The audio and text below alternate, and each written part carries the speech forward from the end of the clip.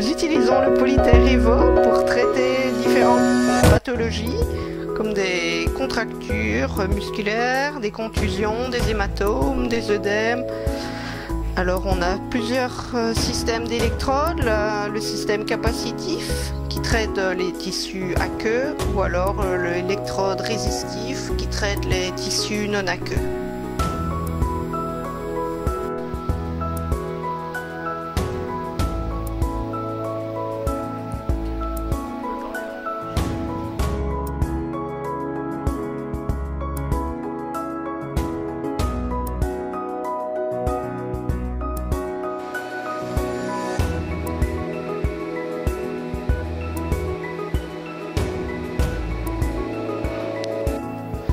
Le Polyterevo nous est très efficace lors de, chutes ou de, blessures euh, bénignes pour nous permettre de récupérer euh, au plus vite et de, pouvoir repartir euh, le lendemain le plus opérationnel possible malgré les, les petits aléas de la vie et des courses cyclistes professionnelles.